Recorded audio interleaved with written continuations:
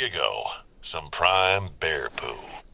Just a couple more samples should do it.